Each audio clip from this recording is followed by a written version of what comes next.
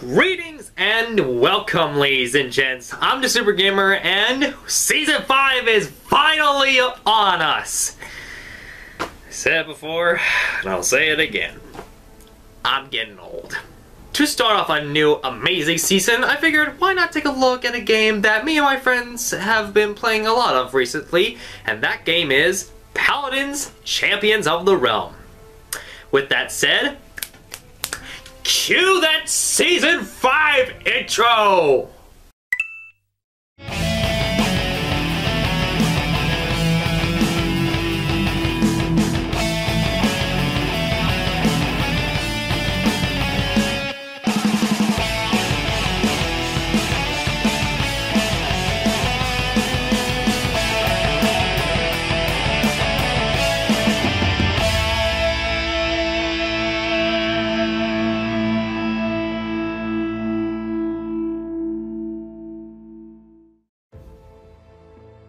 Unlike the other shooters I've looked at in the past, Paladins has almost no story to look over.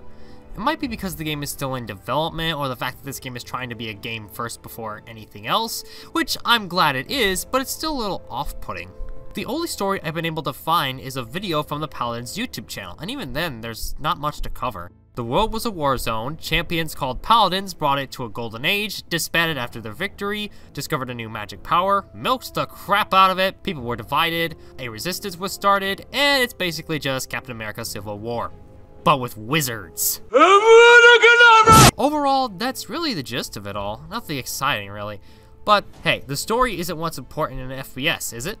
No. It's the gameplay that's important. But what about those aesthetics? For a game that's still currently in development, I have to say it looks really good. This looks a lot like something I would see in a fantasy book like Amulet or The Chronicles of Narnia.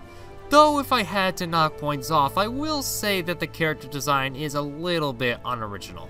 Now, don't get me wrong, it still looks really good, but it does kind of look like some things I've seen before. Sha-Lin looks like Aladdin with a bow, Barik looks like Torbjorn in the engineer's clothing, Fernando is literally just Reinhardt with a flamethrower, Grover is Groot, Pip is Rocket Raccoon, you get the point.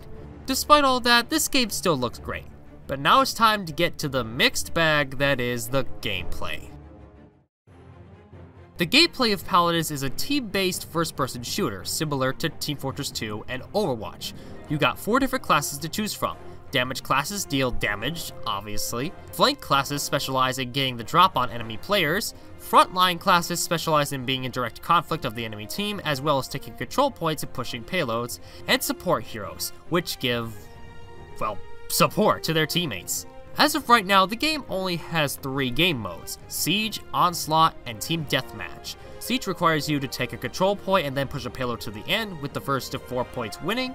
Onslaught is essentially King of the Hill, and the newest one, Team Deathmatch, is where both teams try to get 40 kills. Now, this sounds like your typical first-person shooter at first glance, but here's what separates it from the rest of the crowd. Paladins includes a card feature where you level up different cards which increase the abilities of the characters. Now, on paper, this sounds like a pretty neat idea, and if this was an MMO we were talking about, yeah, I would have to agree. But this card system has its fair share of problems. One, the cards you get from chests are completely randomly chosen. Sure, you can buy a chest for a specific champion, but even still, it's totally random what cards you'll get. Two, due to some recent changes in the latest updates for this game, in order to win, it's required of you to have high-level cards for the characters you choose, which makes this game end up becoming Star Wars Battlefront 2 all over again. Another problem with this game is its matchmaking system. It's very picky. For starters, all players of a single match are required to press a button to join a match in 20 seconds or less. And if, for whatever reason, that one player is not paying attention, the whole match is cancelled. Also, if you don't select your champion in a certain amount of time, the match gets cancelled. Why? That's just putting pressure on players who want to take their time with their champion choice. Finally, once a match starts, you cannot change your character ever.